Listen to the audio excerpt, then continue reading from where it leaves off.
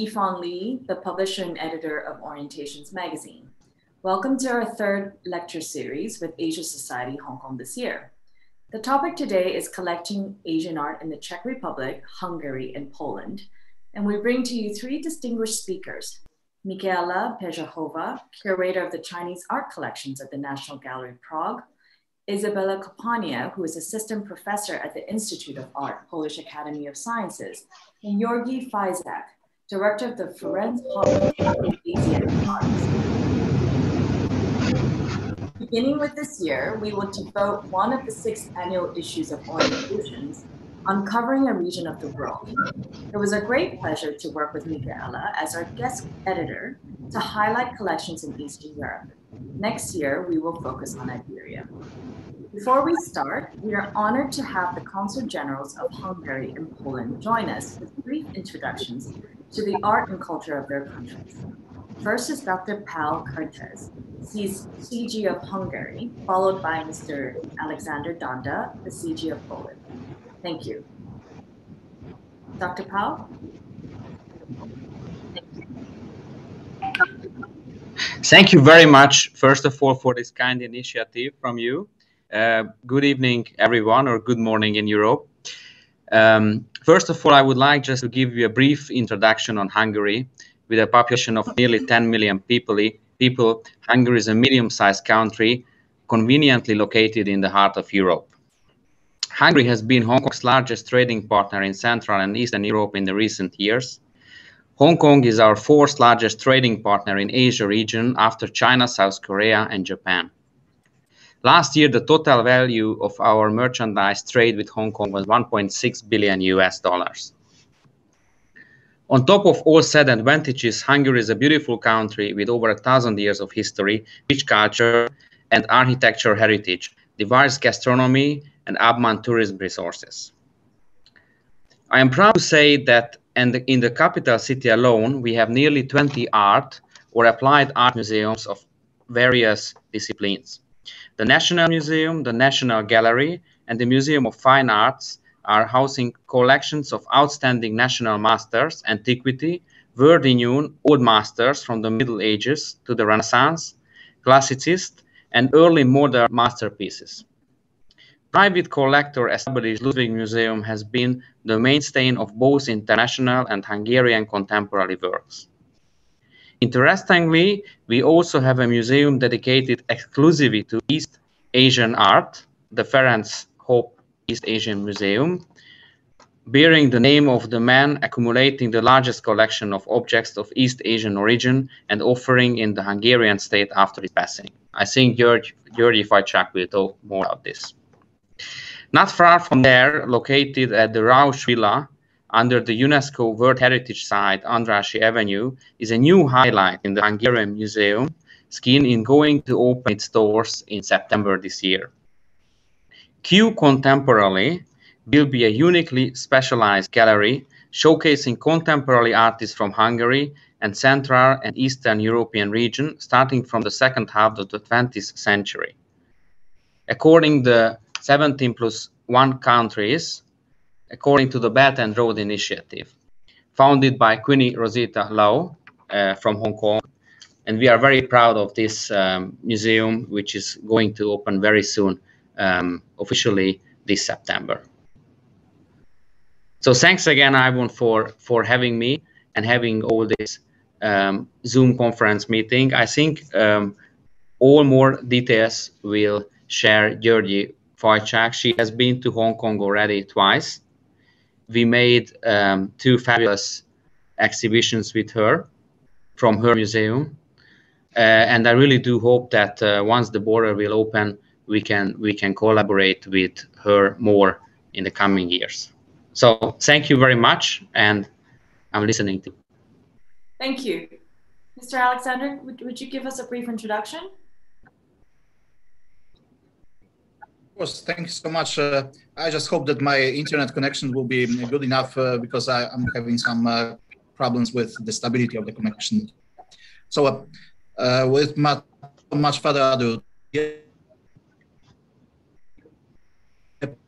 participants of uh, the webinar. It's a, a great pleasure showcasing and celebrating the Central European connections with the culture of China. Uh, my special thanks uh, for this initiative goes to Ms. Yifeng Li, the editor and publisher of Orientations magazine, for your enthusiasm and in pursuing the, the not so obvious road of cultural links between China and, uh, and Poland. As the representative of uh, the Republic of Poland uh, in Hong Kong, it is my duty and pleasure to bring Polish culture the people of uh, this uh, great city. And uh, that is what we in the consulate are constantly trying to do, even though those pandemic times are making it definitely more difficult uh, for all of us to participate in person uh, in cultural events. Poland is uh, full of surprises when it comes to cultural landscape of the country.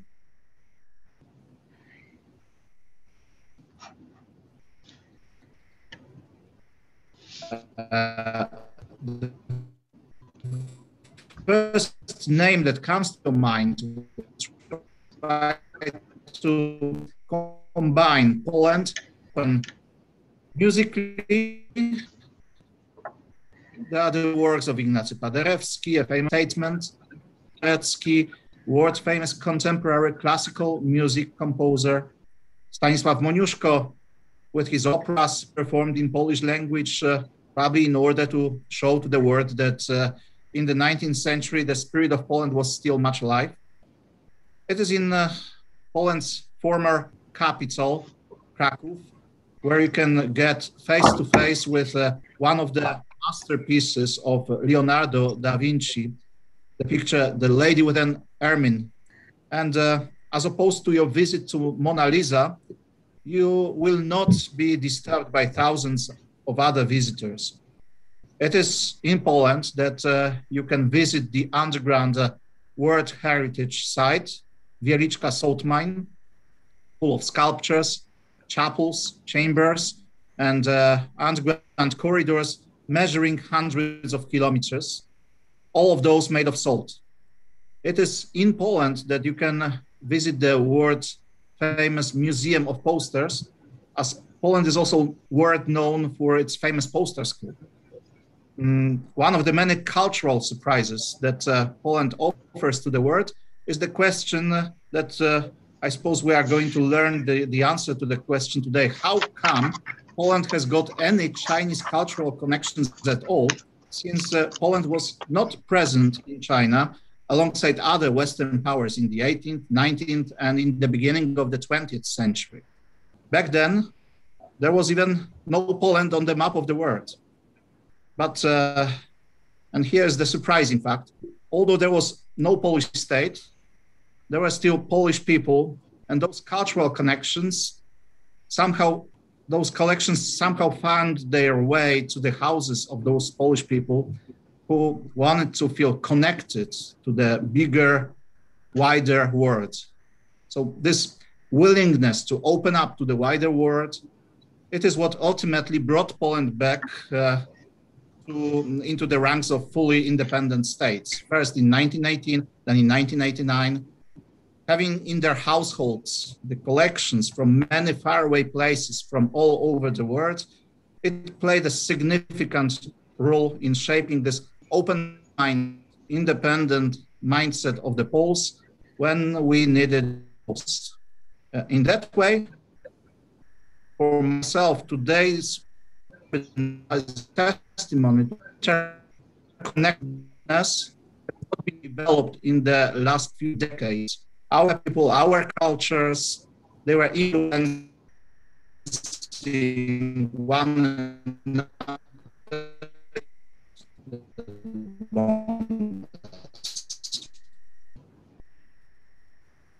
Thank you so much.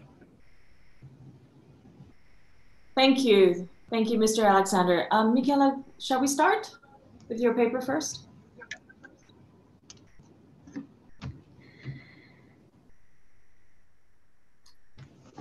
Michaela? Yes, so... Let's start with your paper uh, first. Uh,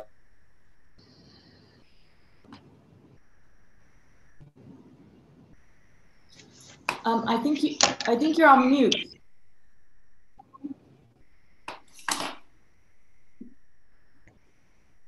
Now I can see everything fine. So uh, we will do three papers and then we, we will have a short Q&A session. I'm Michaela Pejčochová from Prague and uh, it is a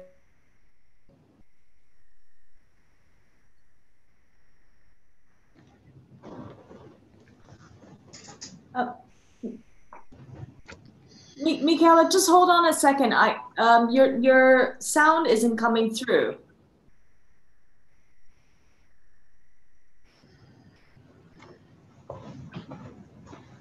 Um,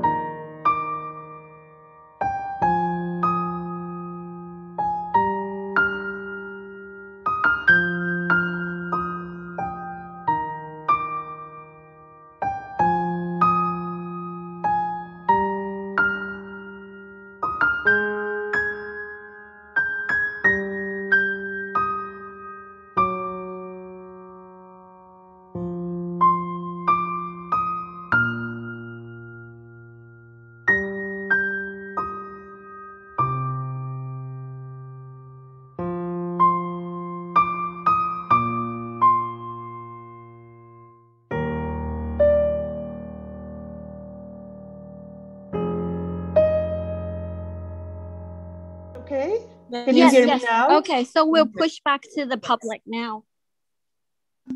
Okay. Oh, so my.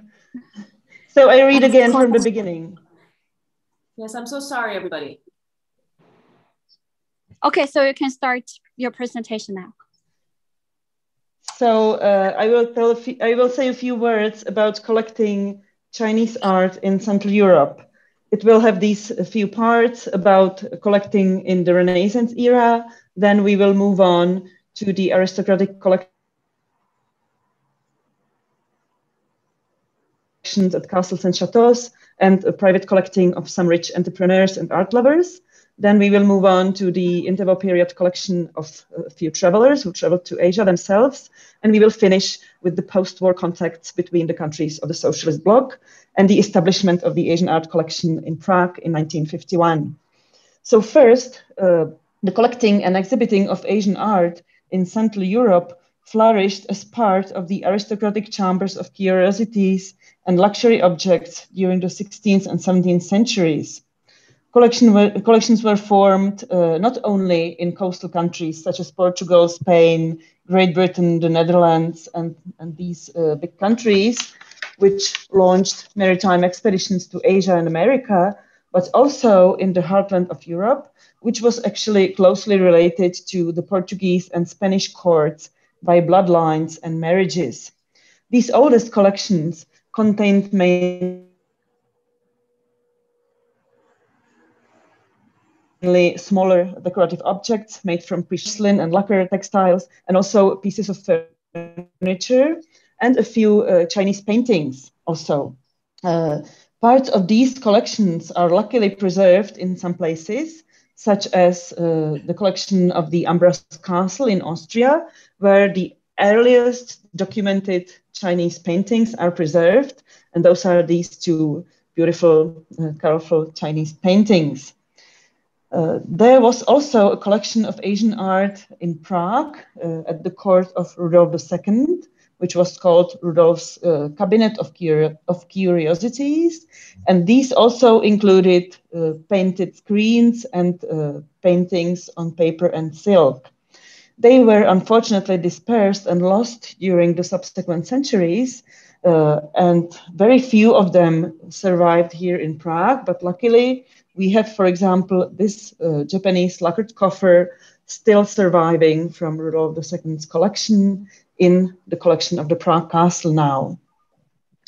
Now, when we move on to the second stage, another uh, crucial period for the collecting of Asian art in Central Europe was that of the aristocratic and entrepreneurial century until the end of the Second World War, when, uh, when collections were formed in numerous local castles, villas, or chateaus. These were often assembled in a more informed way than their predecessors, and this also sometimes resulted from the collectors' travels to Asia. At this time, private collecting of Asian art flourished, especially again Japanese porcelain, Chinese porcelain, lacquer, and textiles, and most notably in regions uh, with strong industrial tradition. Uh, there were local industrial museums set up, such as this one in Pilsen, which also collected Asian art, and some of them uh, still continue to house significant collections of Asian art. Private collections, however, were also assembled in numerous places, which represented their owners' tastes and interests. For example, Heinrich Schicht founded a successful chemical plant in northern Bohemia and accumulated a fortune which he invested in building a luxurious villa and decorating it with artworks.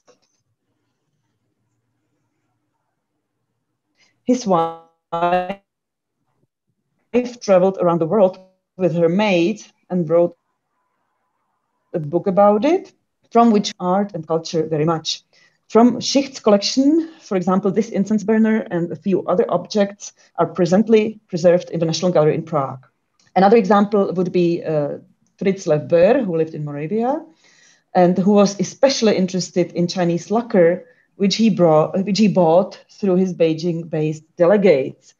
here you can see uh, this famous lacquer throne, or here also he bought very uh, luxurious lacquer pieces, which he, however, sold already before the Second World War in an international auction. So these pieces are not preserved in Czech collections anymore, but number of them are now in the Linden Museum in Stuttgart, and some of them also in the Museum of Asian Art in Berlin. Now let's move on to the next stage, which is the interwar period collecting. Uh, the collecting of Chinese art uh, in former Czechoslovakia reached one of its peaks during this period, and collectors and art lovers uh, already uh, could find ways how to get to Asia, how to live in Asia long term. And subsequently, they were much better acquainted with the local collections and art scene, and they basically much more uh, understood what was going on in China and Japan. The three most important collectors, you can see their names here, were Josef Martínek, Joe Hloucha, and Vojtěch Chytil.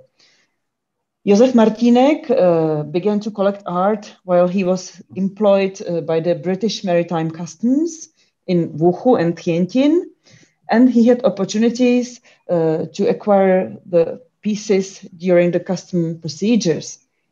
He specialized in ancient Chinese art, but also uh, Buddhist art and ancient Chinese paintings. So he brought to the Czech Republic, former Czechoslovakia, numerous pieces of ancient Chinese art, of which quite a few are nowadays again in the collection of the National Gallery in Prague.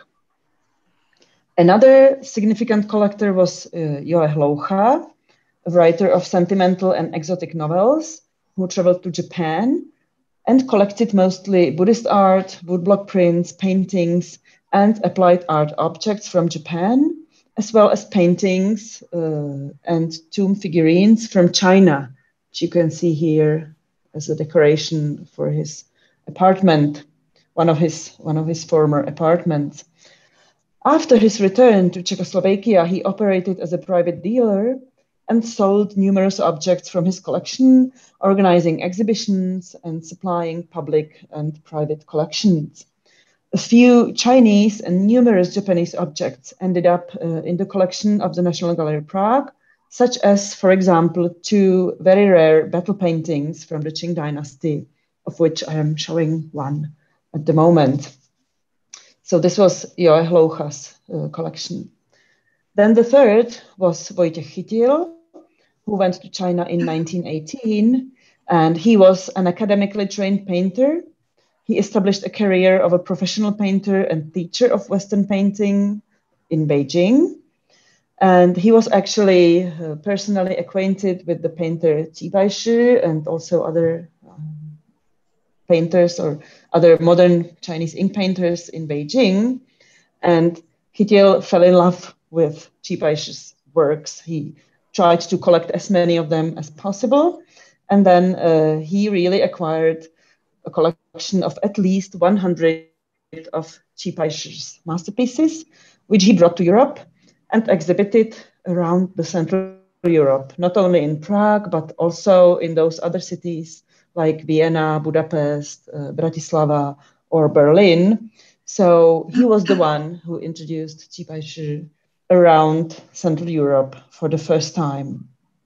Later, uh, Chytil's unique collection of modern Chinese painting was inherited by the National Gallery in Prague after the death of Chytil's wife in the early 1980s, and it forms the base of one of the most important modern Chinese painting collections in the West, and you can read more about it in my book, uh, Emissary from the Far East, which I published two years ago.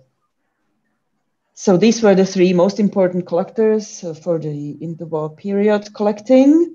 And lastly, after the Second World War, a highly specific situation arose, as we all know, after the communist takeover in a number of, uh, of countries in Central and Eastern Europe. And despite the general deterioration of life conditions here in the spheres of political, economic, social, or cultural life, there were paradoxically more opportunities for cross cultural exchanges and influences within these uh, countries or uh, among these countries of the socialist bloc.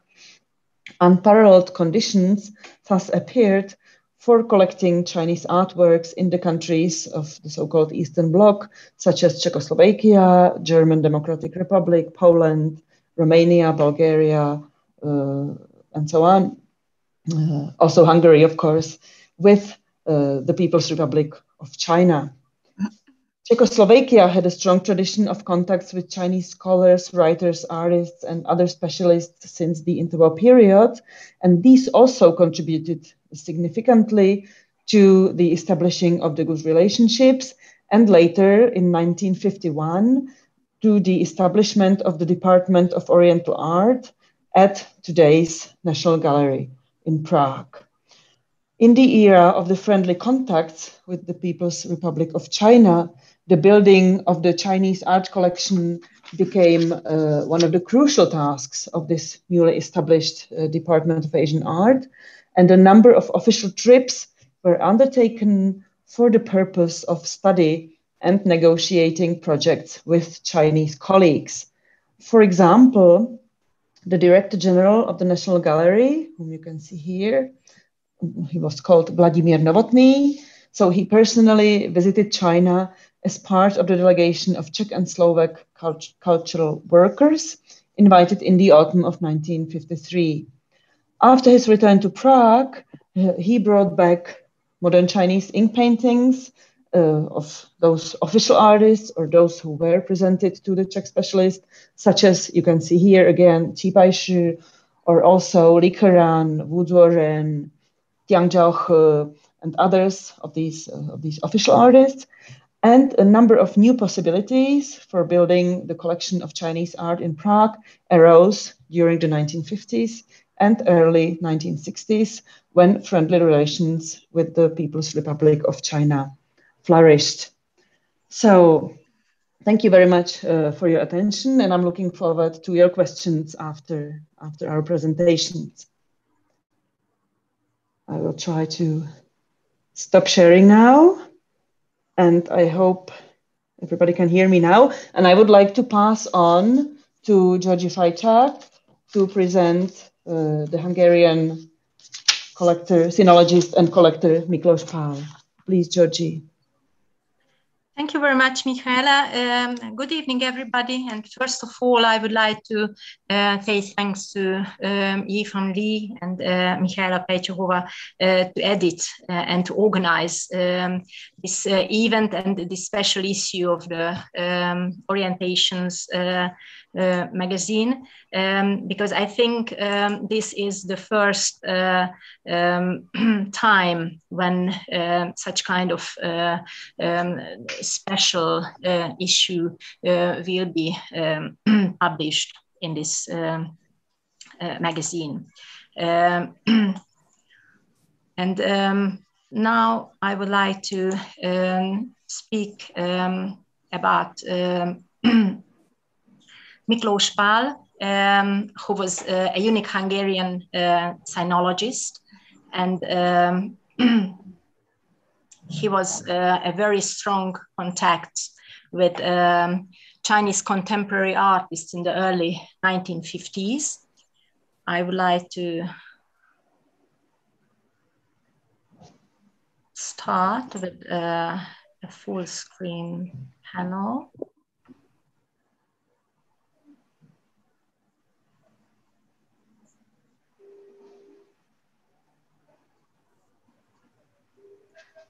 Well, um, the famous Hungarian um, sinologist Miklós Pál um, was deeply interested and uh, uh, closely connected to modern Chinese visual arts, literature, um, and theater. Um, my paper and um, this presentation focus on an unknown but important aspect of his interests and presence, his connections um, with contemporary Chinese painters in the early 1950s when he studied in the People's Republic of China. He graduated as a French and Hungarian teacher from the Peter Pázmány University. This is the present um, day Eötvös University in Budapest. Uh, and he graduated in 1950 and arrived in China in September 1951. He was trained in an intensive language course at uh, Beijing University from October um, 1951 and started to study the history of Chinese literature a year later. He officially became a student of art history at the Central Academy of Fine Arts in Beijing on 5th March 1953. Um, professor Wang Xun, a well-known and highly respected professor of Chinese art, uh, art history, was assigned to be his supervisor. Documents at the Central Academy of Fine Arts in Beijing from 1953 show that uh, Miklos investigated three art teams, General Survey of the History of Art in China, the sculpture of uh, Yunkang and the Lungmen cave temples, and uh, the third um, uh, team was uh, the art of Tunhuang. His basic study was the course led by uh, Professor Wang Xun, and uh, his main subjects were such as uh, follows. The first, Tunhuang and the beginning of painting. Second one, sculptures of Yunkang and the Lungmen cave temples. The third one, landscapes in the Sung period. The fourth, bird and flower painting in the Sung period. The fifth, illustrations and woodblock prints the sixth, the art of porcelains, and um, the last, the seventh, the general survey of applied arts. It was in the academic year 1953-54 that Paul Miklos started to study the contemporary arts of China, especially the new graphic arts. This subject would become the topic of his uh, thesis entitled the art of contemporary woodblock prints in China, written in Chinese, as uh, he was completing his, um, his studies in China. You can see that Paul Miklos, to deal with modern Chinese pictorial art in the fall of 1953, on the one hand, the subject was closely related to his thesis at the Central Academy of Fine Arts, as he had to deepen his knowledge in the field of modern Chinese painting. On the other hand, he was also trying to collect as much information as possible because of uh, the lack of reference literature on art history, especially on contemporary art and artists. His basic material consisted of interviews and oral information given by teachers, artists, and students of the academy. From December 1953 to June 1954, he met and talked with more than 30 artists. These interviews and the associated data also formed the basis of his PhD thesis after returning from China to Hungary. The acquaintances, conversation partners, and social networks of Paul Miklos provide us with the outline of a very special circle of modern Chinese artists. Miklos met all of the most significant artists uh, Chinese painting during uh, the course of his data collection. He examined and greatly admired the works of these artists, and they furnished with uh, him with perfect references for presenting the main trends and schools of contemporary Chinese art. His first crucial meeting probably took place as early as May 1953. The journey to the Yunkang cave temples was led by the painter Li Keran from the Academy of um, Fine Arts, who was close to the circle of Lin Fengmian in the 1930s. These artists represented the new cosmopolitan Chinese painting, and their works were fusions of Chinese traditional and modern subjects that uh, successfully combine Eastern and Western techniques of painting. Li Keran was known as one of the reformers of Chinese landscape painting who gave Zhen new impetus. recurring subject of his was a boy pl- playing a flute beside water buffalo, which he depicted in varied compositions. This figure suggests well-known Chan parable, and the kind and gentle figures of the story accompanied uh, Li Zhan throughout his career. Miklos even had one of his paintings, um, The Mountain Beholder, as you can see on this slide, at his home. An Miklos visited Wu Zuoren and his wife Xiao Shufang in their home in Beijing on 5th March 1954. Wu Zuoren first began his career in Shanghai following the advice of his professor Xu Beihong. He went to Europe in 1929 to study painting in Paris, École des, Beaux-Arts, and Brussels, Académie Royale de Beige. He returned to China in 1935 and began teaching together with Xu Beihong at Central University in Nanjing. After the Japanese occupation, the university moved to Chongqing in West China, and Wu Zuoren and his family followed. Wu Zuoren, meanwhile, made mainly anti-Japanese propaganda pictures at that time. After his wife died in late 1939, and Wu started to wander. He spent a substantial period of time in Qinghai province in the early 1940s, and then lived in Tibet, where he visited the Dunhuang Mogao caves and system of temples known as the Thousand Buddhas caves. New subjects appeared in his paintings, such as Western, Chinese landscapes and minorities, as well as the characteristic animals of this region, yaks, camels. His monochrome ink paintings are distinguished by a deep anatomical knowledge and lovely spontaneous brush strokes. Paul Miklos also had a painting by Wu which the start with the, with the artist dedicated to him. And he often illustrated his lectures with this uh, special favorite painting, as you can see. Wu not only served as an important link to the circle of Xu Beihong, he was also a significant link for another reason. He talked about the cultural life and movement of Shanghai in the 1930s and popularized the activity of the private school Shanghai Art University, Shanghai Yishu Daxue, and its successor, the South China University of Arts, the Nanguo Yishu Daxue.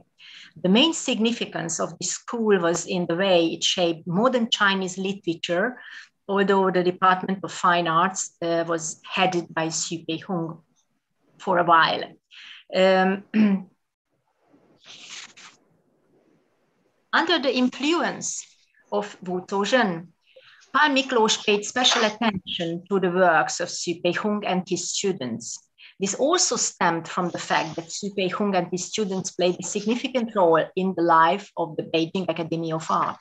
Till his death in September 1953, Xu was the president of the academy and his students had important positions. Furthermore, Xu Beihong and his students formed a direct link to the history of art in China in the 1930s. After 1927, Xu was head of the Department of Fine Art at South China University of the Arts in Shanghai, and he was later appointed dean of the Central um, University in Nanjing. After the university moved from Nanjing to Chongqing in 1937, this institution ensured the continuity of high-level Chinese art education until the restart of the Beijing Academy of Fine Arts and the Hangzhou Academy of Fine Arts after 1949. Several artists who moved to Sichuan had significant contacts with Yan'an, the general headquarters of the Chinese Communist Party at that time, and they followed the art policy of the Chinese Communist Party in their works. The activity and works of Xu Beihong were originally bound to the renewal of Chinese figurative painting. His focus was that Chinese pictorial art had to be renewed from the realism of the Tang period. His students, including um, Jiang Zhaohe, Li Hu, and uh, Zong Qixiang, were important interviewers of Paul Miklos. Jiang Zhaohe talked to him about his pictures upon their meeting in May 1954 and also presented a delicate work to Miklos, a depiction um, of uh, a child. Paul Miklós' journey to eastern and southern China in the spring of nine, 1954 gave him a unique opportunity to meet contemporary artists. He left Beijing on 6 April um, 1954 and traveled together with one of his sculptor fellows. This route took them to Nanjing, Shanghai, and Hangzhou. At the former home in Shanghai of the writer Lu Xun, Miklós made a list of his woodblock prints, and these notes served as material for his um, thesis. At the Hangzhou Academy of Fine Arts, he met painters like uh, Mo Pu and uh, Zhang Yanxi. Furthermore, on 17th April 1954, he conducted two important interviews with the legendary artist Han Tianshou and Huang Binhong. Han Tianshou studied at the Hangzhou Academy of Fine Arts and later became its head when he was appointed by the Kuomintang government. His bird and flower paintings are highlights of the 20th century Chinese painting characterized by the bold compositions. The other painting genius was Huang Binhong, who received Miklós at his apartment. He became famous for his landscapes. The concretization of the landscape was a feature of the Lingnan School launched in the 1920s by the Kao brothers in Canton, of which uh, he was a proponent. Huang Binhong wandered around China and discovered real Chinese landscapes in all their richness and diversity. He depicted not the idyllic beauty that traditional Chinese painters sought and visualized, instead a new kind of probing, exploring spirit could be experienced in his landscapes. He innovated uh, with new elements and uh, lovely details in the landscape, such as groups of waterfall or houses. In his revolutionary use of colors, for example, to depict atmosphere, he completely transformed the traditional Chinese landscape composition. Paul Miklós was again favored, receiving a scroll painted uh, by Huang, as you can see in the slide. In April 1954, Paul Miklós and his companion traveled uh, from Hangzhou to, uh, to uh, Guangdong. Um, he met with uh, craftsmen, but uh, there is no record of him meeting any Chinese painters there. Returning to Beijing, they stopped in Wuhan, where Miklós met some famous wandering painters um, of 1940s. Li Xiongcai and Guan Shanyue were among the first to depict Western China in their paintings. Here you can see a sketch of Li Xiongcai, which uh, was depicted a monastery near Dunhuang. The master dedicated it to uh, Paul Miklós, who also traveled to Dunhuang uh, in August uh, 1953. Miklós worked um, according to a strict schedule issued by his supervisor Wang Xun and made sketches of uh, uh, 42 cave temples. After returning Hungary, he published a book the cave temples of 1000 Buddhas at Dunhuang in 1959. After arriving in Beijing, Paul Miklós worked on his thesis on modern Chinese woodblock prints, which he completed in June 1954. The manuscript has not survived, but it's known that the data were checked by such masters as uh, Chen Shuliang, Xu Xinzhi, and Li Qin, all artists in the circle of uh, Yan'an woodblock printmakers. Significant parts of this uh, thesis were incorporated into his PhD thesis, which covered a broader theme, focusing not only on contemporary Chinese woodblock printmakers, but also on contemporary Chinese painters and schools of painters. This manuscript is available in Hungarian. In addition to these interviews, Paul Miklós had other opportunities to meet Chinese artists while working as an interpreter in China and guiding Hungarian artists on their Chinese tour, according to reports he made from China at the time, no archived in Hungary. I suppose he met Qi Baishi in this way. He accompanied the Hungarian artist to visit the master, at which time he also took some photos. He greatly appreciated the art of Qi Baishi. His deep attachment is evidenced by his monograph of Qi Baishi published in 1952 and um, by his favorite album leaf entitled Autumn uh, by the great master, which uh, uh, hung in the wall of his study room. Um, as um, analysis of the meetings and interviews Paul Miklos conducted with Chinese artists reveals that most of these occasions were proposed by his professors and teachers at the academy. From these names, we can confirm that the Chinese art world clearly knew its great masters and significant artists. Miklos had a unique opportunity to meet painters who are still considered among the most significant masters of the 20th century Chinese art.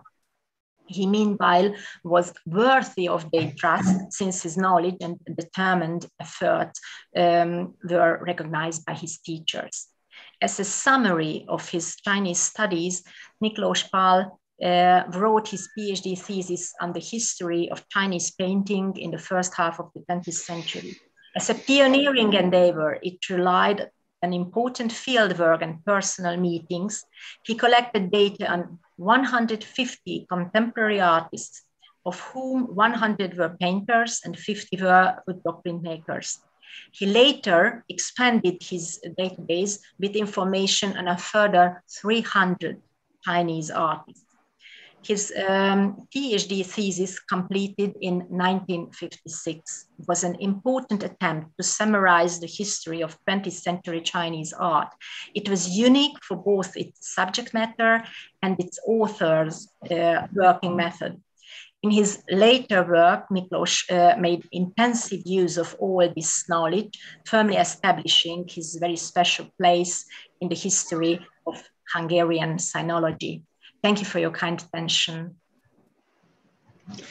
Thank you, Györgyi, very much for this rich presentation of Paul Miklos' contacts and, and the paintings he collected.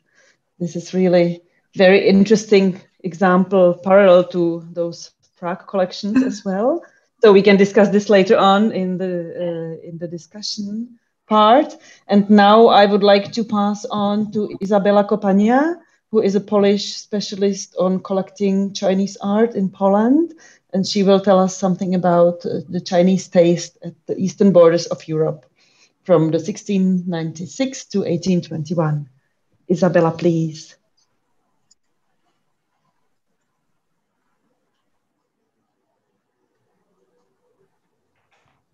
Um, hello, um, thank you very much. I'm very happy to be a part of this wonderful project.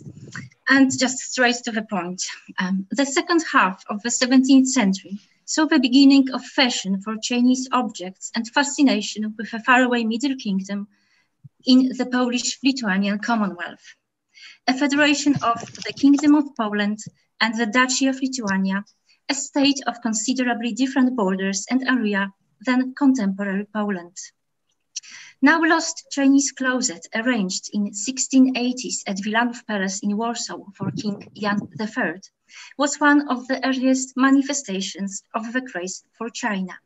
Since then, Chinese taste constituted an inherent part of Polish aristocratic culture long into 19th century when it gave its way to Japanese. The inventory of Wilanów Palace, registered after the death of King Jan III, featured numerous objects referred to as Chinese. As none of these objects is preserved, it is difficult to judge on their provenance, whether they were Chinese imports or European chinoiserie goods. Our knowledge of how Chinese taste uh, was manifested in the early modern period is informed more by textual sources than material items. What must be mentioned, however, is that Polish-Lithuanian Commonwealth never enacted its own East India Company and never traded directly with China. A handful of Polish Jesuits who resided in the Middle Kingdom did not constitute any channel of transfer of knowledge, objects, or images between China and Poland. Chinese fashion was mediated by the West, both in terms of consumption of exotic goods and of the knowledge of China. Under the Wettin house of Saxony in the 18th century, Chinese vogue exploded among Polish nobility as an emulation of French and Saxon patterns. Augustus II the Strong uh, commissioned a lacquered cabinet to be arranged at Wilanów Palace uh, in Warsaw. Uh, and as early as 1731 or 1732, the royal residence boasted of a fashionable room whose walls were wainscoted with panels decorated with imitation of Japanese lacquer by Martin Schnell. Wooden panels covered with glittering golden orange red lacquer were decorated with figures of the Chinese and motifs inspired directly by, by East Asian prints from the collection of Augustus the Strong. Uh, the panels were given exuberant sculpted framings with leaf-head heads at the bottom, eagle-like birds at the top, and frontons, frontons in shape of blue and white porcelain vase. Uh, the cabinet is the only interior created in Saxon times that has been preserved until these days.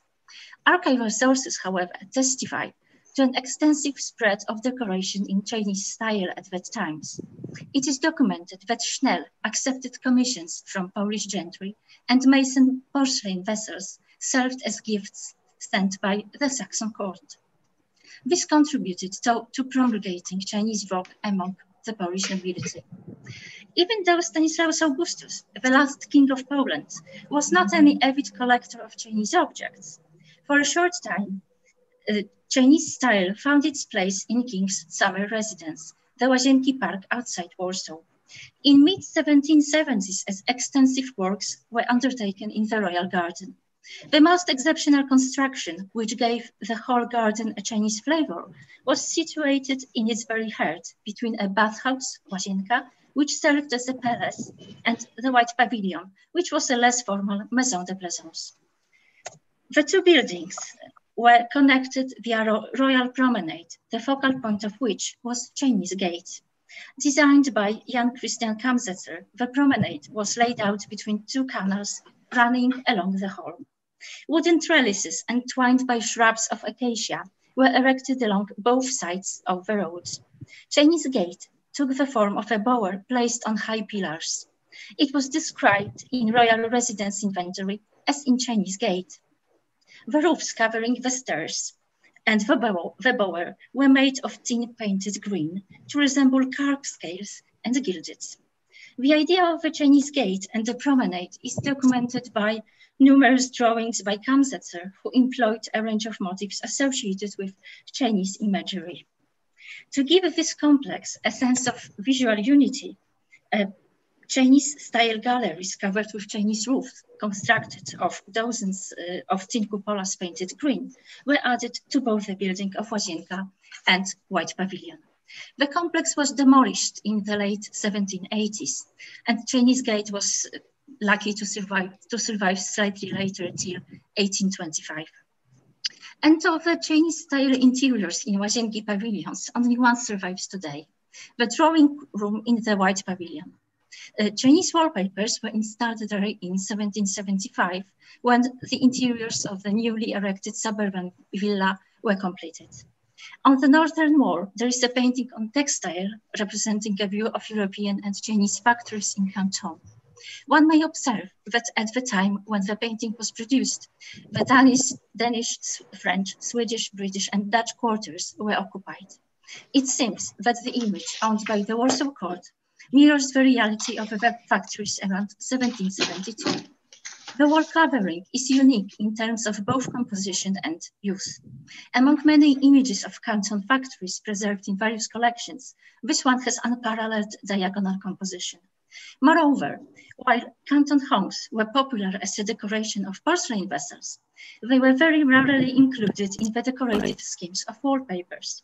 A huge representations representation of hongs in the landscape, known as Drummond wallpaper, now in the Peabody Essex Museum in Salem, is a comparable item, as the latter shows the waterfront between uh, 1800 and 1803 it appears that the painting in the White Pavilion is now the earliest known example of such wall covering.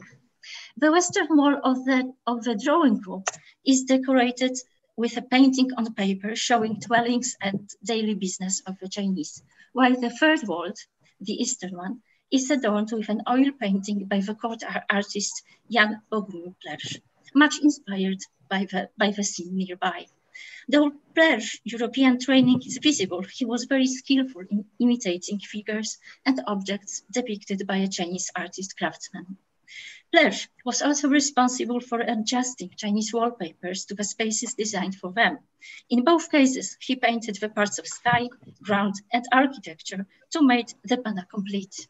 Registers of the White Pavilion mention there some Chinese objects and four sconces whose main body consisted of porcelain vases ordered in Meissen. Uh, the Canton Factory's view in White Pavilion found its more interesting counterpart in the palace. In the king's study in Łazienka, there was a panoramic wallpaper installed there in 1777, representing a broad view of the Pearl River Delta, including Canton hongs and the most representative buildings like the Flowery Pagoda and the French Folly Fort. Uh, the panoramic view has few counterparts in European collections, including a splendid uh, painting on silk produced around 1771, now in the collection of the Rijksmuseum in Amsterdam. Uh, even though sources are silent on wallpaper's provenance, one may presume their British origins. It is known that Stanislaus Augustus arranged some commissions and purchases in England through Th Thomas Wroughton and his brother Lo Lord Edward Montagu, both well acquainted with Chinese export markets. Uh, an exceptional Chinese room was arranged in Łańcut Castle for the Princess Isabella Lubomirska, a wealthy woman of powerful family connections. She shared her time between Paris, Vienna, and Łańcut, where the new Chinese apartment was installed between the years 1791 and 1802. Uh, the apartment comprises two rooms, the Pompeian drawing room and the Chinese bedroom. The arrangement of the walls in both spaces was subordinated to the prints and uh, drawings displayed. In the Pompeian drawing rooms, room, these were prints and watercolors representing antique subjects, and in the Chinese bedroom, uh, these were watercolor drawings of Chinese pavilions, bowers, and interiors of houses, as well as what featuring children with uh, play, uh, playthings and the New, New Year work, New Year woodblock, woodblock prints. Uh, the drawings representing architecture and interiors call for a special comment due to their iconography and origins. Representations of Chinese pavilions, interiors, and bowers are far from, are far from the typical export paintings market. Instead, every image from Łańcut finds its counterpart in the pictorial treatise on architecture, Essai sur l'architecture chinoise, uh, produced in Beijing in uh, circa 1773 and sent by Jesuits to Henri Bertin, a Secretary of State to Louis XV. Uh, the Łańcut images are not the exact, exact copies, and numerous discrepancies betray a hand of a European artist. The Chinese characters are clumsy, monochromatic paintings are replaced with compositions in colors, and the coloring of particular motifs is not faithful either. The 1802 Palace Inventory terms the drawings antiquities, exactly the same as the images uh, in Bertin's studio record. Uh, the Łańcut drawings must have been produced on the spot in Paris at, at Bertin's studio, which was accessible to everyone who wanted to conduct research there. Uh, here, um, it is possible that Isabella Lubomirska commissioned the drawings during one of her stays in Paris as she visited the city very regularly between 1786 and 1789, and she hired apartment in Palais Royal. And of course, she was very familiar with uh, French elite, especially Prim Princess of Lamballe, the closest friend of Marie Antoinette. Uh, and here, the agency of uh, the drawings should be stressed as they served as a drive for creating the whole interior. In the Chinese bedroom, the motifs of wallpaper were directly inspired by the elements featured on architect architectural drawings. Chinese characters, cloud-like motifs, and floral compositions in pots. The wallpaper, produced on the spot in Łańcut, was designed as a background to exhibit the drawings, as is suggested by six rectang rectangular frames prepared as exposition spaces. It constitutes a decorative scheme that links images into a coherent system. The way it was composed seem, seems to mimic, to some extent, the interiors portrayed by a Chinese and subsequently by a Euro European artist. Ornamental motifs which are usually refused to convey any significant meanings, mediated here the encounter between the drawings, which connoted China, and their European owners. Stanisław Kostka-Potocki, Lubomirska's son-in-law, shared her admiration for things Chinese.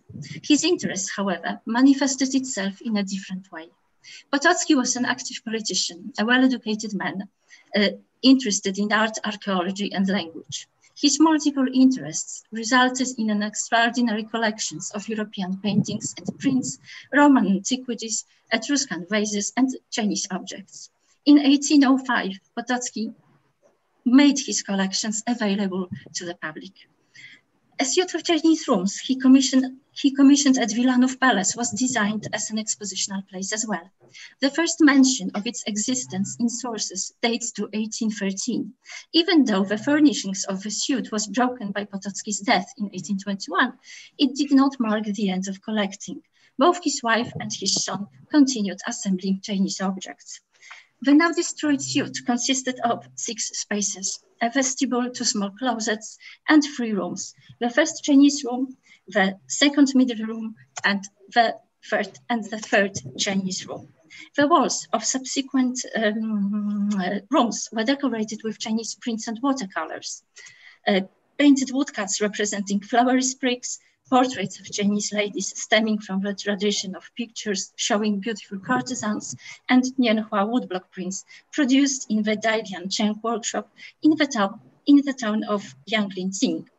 In every case, local artists produced, uh, adorned the walls in such a way that the decorations constituted frames for images and a background for the presentation of collectibles. The collection of Chinese objects initiated by Potocki was unique in the former Polish-Lithuanian Commonwealth. It was a diversified set of objects covering as many spheres of Chinese culture and life as possible. It included not only pieces of fine and decorative art, but also items that would now better fit in the realm of ethnography, such as slippers, umbrellas, and straw hats. Potocki collection uh, constituted an important field of his research. He penned one on the first comprehensive accounts of Chinese art. It was published in 1815 as an autonomous chapter in his adaptation from the French of Johann Winckelmann's History of the Art of Antiquity. What seems important in Potocki's case is that his chapter on the art among the Chinese constituted part of the narrative on the arts, not an overall description of China. He included Chinese art into the description of the legacy of antiquity. Interestingly, he based his observations on contemporary art and drew information from travel diaries, Jesuit writings, and his own collection of Chinese items. Accounts of such objects as carvings betray an eye of an observer. Potocki's account of Chinese art must be, must be understood within the network of changing attitudes and expanding knowledge uh, of Chinese art, as well as, the, as in the context of, the of deeply rooted stereotypical image of the Middle Kingdom. The last one, especially the, the idea of China as a living image of antiquity, allowed Potocki to include a chapter on Chinese art into the story of the art of Greco-Roman antiquity. Potocki's collection and erudite knowledge of China stayed unrivaled both among his peers and the following generations of Polish collectors of, of Orientalia. And to conclude, uh, art historians often dismissed Chinese fashion in Poland as rather an interesting influence of Western trends on Polish culture.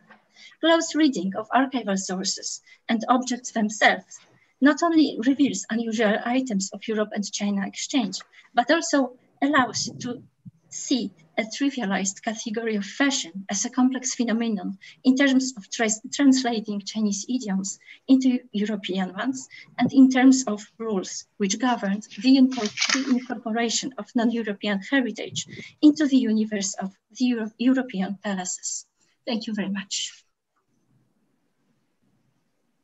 Thank you, Isabella. This was also a very fascinating talk on the uh, Polish aristocracies collecting. And I think this is really interesting how this fashion for things Chinese was very much spread around the whole of Europe because I think it's similar for the nowadays Czech Republic, but also other countries like Hungary, Austria, even Switzerland. I saw some presentation of these castles and villas, and they have all these similar prints and paintings pasted on the walls, maybe even from the same consignments brought to Europe.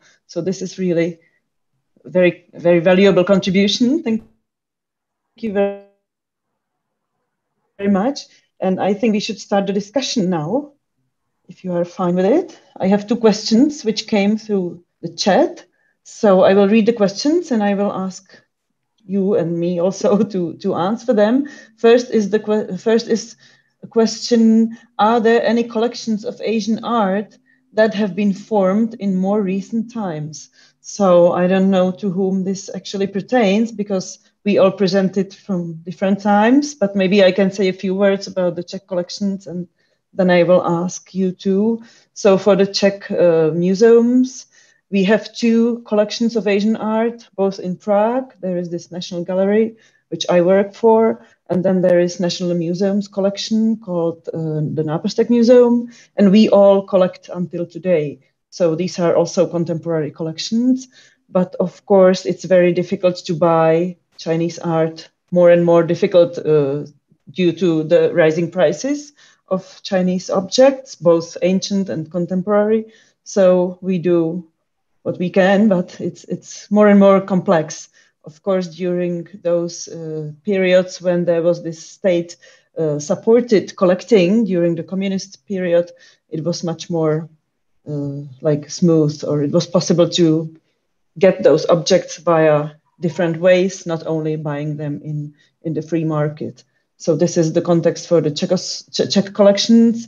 And we also have definitely some private collections, and these are growing, and these depend on their owners' possibilities. And they include some ancient and contemporary Chinese art, as far as I know. But yeah, this would be a different topic. So this is for the Czech context. Maybe uh, Györgyi, if you can answer shortly, yeah, are there um, any collections? Yeah, just few words about the Hungarian um, aspect. Um, in Hungary, we have uh, only one uh, museum dedicated uh, to the uh, Asian art. Um, it's a state-run um, public collection. I mean, the Ferenc Hopp Museum of Asiatic Arts, as uh, Parker mentioned um, in the um, forward. Um, and uh, we try to collect, but uh, as uh, Misha mentioned, it's uh, rather difficult to collect contemporary items. I would highly appreciate to collect contemporary items, but it's um, it's not easy uh, to get um, these things. And uh, of course, uh, we try to uh, collect um, traditional um, um, old items as well. Um, in Hungary, we uh, do not have uh, other Asian collections. Some items, some smaller collections uh, can be found um, in other uh, state-run institutions like the uh, Museum of Ethnography in Budapest and um, some uh, some country museum, but uh, um, they um, haven't got um, uh, significant material and uh, nowadays, um, I um, do not know um, about uh, um, private collections uh, mm. which are um, dedicated um, to especially Chinese art. They are private collectors who collect uh, Asian items, but uh, not only uh, Chinese. That's all what I yes. can say. Yeah, that would be quite similar to what we have here. And uh, Isabella, can you would you answer for the Polish? Yeah. So situation? actually, actually, situation is in Poland is is somehow com comparable. We have at least two big collections of Chinese art, which does not mean. Uh, of contemporary art. We have two collections in Krakow and in Warsaw. In Warsaw, the collection of Chinese art was assembled after the Second World War. So it's it's just like a contemporary history. And in Krakow, it was initiated at the, in the very early years of uh, the 20th century. And the, another two institutions which are um, important are the Asian Pacific Museum in Warsaw, but they do not focus on Chinese art. They, they, they, their collection is devoted rather to uh, to um, Southeast Asian art, and the famous Manggha museum of um, Uh, of art in Krakow, which houses the collection of Felix uh, Manggha Jasieński, the renowned collector of Japanese uh, prints. Great, perfect, thank you. So I hope this was this was this explained the question. And the second question we have is for Györgyi. How has Pál Miklós's connections with Chinese contemporary artists and his studies of their work influenced Hungarian contemporary artists? Uh, thank you for this question. It's it's very interesting. Uh, Miklós Pál has um, um, had great influence uh, in this field because, um, um as I mentioned, uh, he um, um, wrote uh, several uh, books, monographs on Chinese painters and especially on Chinese painting, and he had um, very special positions in the Hungarian cultural life in the 1970s uh, and 80s. Uh, for example, he was the uh, director of the Museum of Applied Arts and um, he had very strong contact with contemporary Hungarian artists um, who was uh, influenced and uh, um, by uh, Chinese uh, um, writing. Um, and um, there uh, was a special, uh, I can say, circle of Hungarian artists who were the calligraphists. Uh, of the uh, contemporary Hungarian painters. Um, and um, Miklós Pál opened several several uh, exhibitions uh, um, of those artists uh, who um, were influenced by um, Chinese uh, art. So um, I think he had a very very great impact um, on uh, Hungarian um, contemporary art. Great, thank you. So another question is for Isabella. And this is your presentation gave insight into the aristocratic perception of China at that time. What, in your view, is the general idea of China now? Well, oh, well, I'm not a sociologist, but I, I just yeah. try to do my best. Well, actually, now China is better and better known in Poland because, as you probably know, the tradition of Chinese studies in Poland is a rather young tradition. It's not the, the, very old one, dating back to the to the 18th century or or 19th century. And there's more and more possibility to um, enroll uh, in Chinese studies. So, um, what's the general idea of China now? It, it's a difficult question. I know that now a lot of Polish students of uh, art history are very interested in contemporary Polish uh, Chinese art. And uh, several years ago, we had a huge exhibition of, of uh, contemporary Chinese art in uh, the, the Zachęta, uh, Zachęta Gallery in Warsaw. And I think that, that China is not that far away country that it used to be in the period which was covered in my talk, but I think that still it's it's a country which many many people want to uh, just get, get to know. It's just interesting curious maybe not that curious and as as hundreds of years ago but but still i think in in in, in opinion of numerous poles young poles very worth visiting and discovering. Oh, that's what yeah, i would yeah, say. yeah definitely. Wonderful Great, thank you. So there are no more questions in the chat. Uh, I don't know about the time. We are maybe running out of time. What do you think, Ivan? Can um, we still discuss or?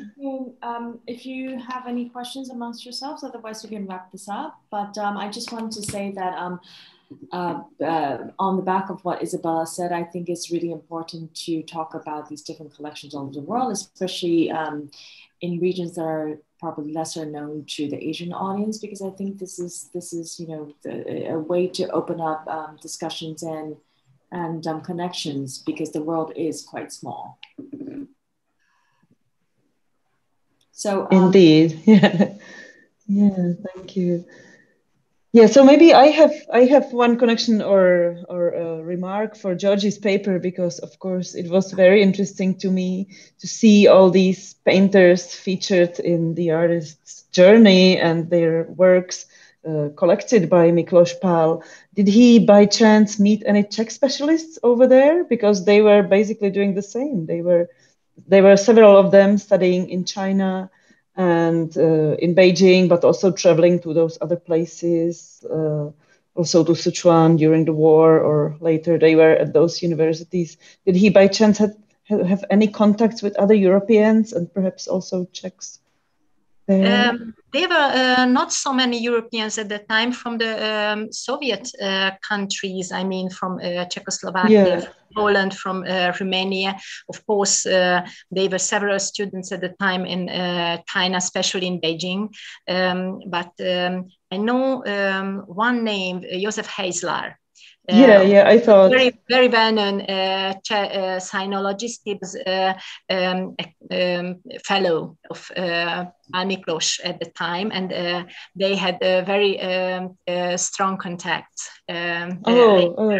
So um, they um, have um, correspondence and uh, they were very familiar um, with each other. Uh, so uh, I think uh, Josef Hejzlar uh, also wrote uh, a book on uh, later. And, yeah, yes, he did. Several, because... several years later. So it was on the same way as it was in the same trend. Um, we can realize what they studied in the 1950s, they tried to follow in the 1960s and 70s. Yes, yes, indeed. Yeah, it was totally parallel. I think he was also interested in those similar similar topics, not so much maybe in the cave temples, but definitely in Qi Baishi and work of those other artists. So I'm happy you have this correspondence because I didn't know about this contact. Thank you. Thank you. So are there a lot of um, uh, specialists or scholars from the region in, in China and Asia now? Not just China, but of course Japan and in the Far East? Are, are there a lot of scholars there doing doing research, current research now? Um, uh, yeah, me, Isha. No, you go first, please, please. Please, please. So, okay, for Czech uh, for Czech Republic, it's like uh, we have a few. We don't have many specialists in Chinese, Japanese, Korean art.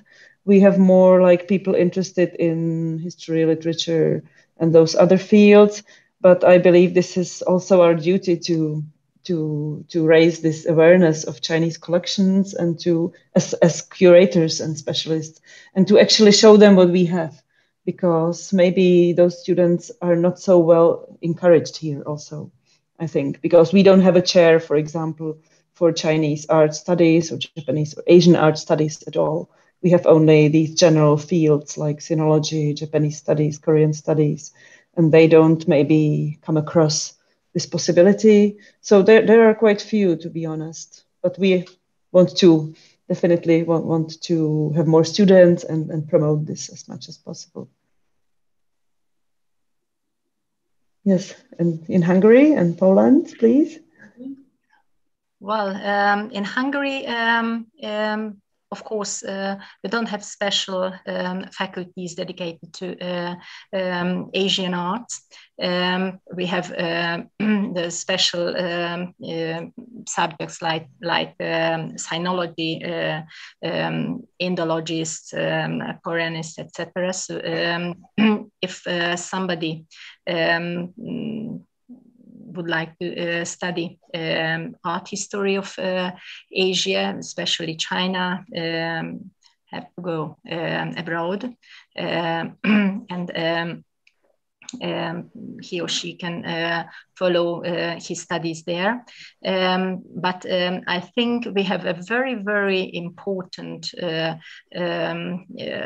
tasks to investigate the cultural and uh, artistic relations um, of these countries. Especially, we had um, a, a large-scale exhibition in um, 2018 um, about the Shanghai um, relations.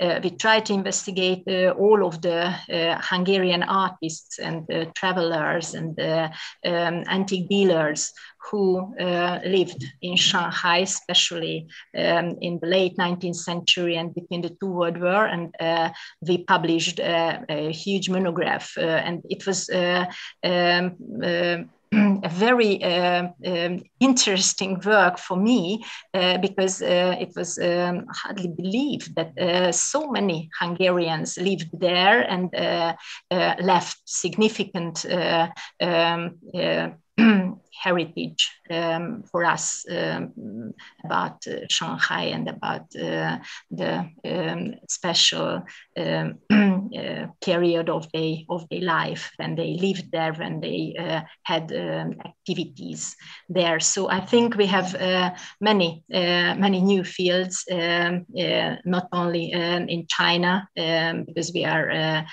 museum dedicated to whole Asia. But in the case of China, we have uh, a lot of others uh, things we, we would like to uh, follow, we would like to continue.